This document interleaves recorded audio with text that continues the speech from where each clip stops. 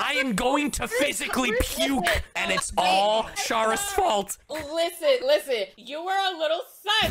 Shut the Mouth. up! You can never! You